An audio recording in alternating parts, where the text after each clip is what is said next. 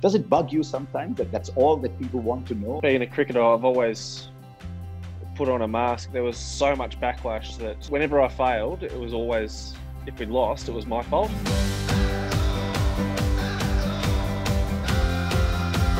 Is there a little stigma about failure? You learn from mistakes. I suppose you've got to try and take out the thoughts of risk out of your mind. Is there a sense of deja vu coming up in your mind? Kings 11 again, IPL again? I'm certainly looking forward to playing with KL Rahul. At the moment, I think he's the best player on the planet. The million dollar baby at, uh, at, at, Mumbai Indians. I was certainly met with um, a bit of a res- resentment, I suppose, from the public. Glendeep Singh Maxwell. And that's going to be a pretty cool memory. I was trying to learn Hindi. Let's fasten our seatbelt. Something's going to happen here.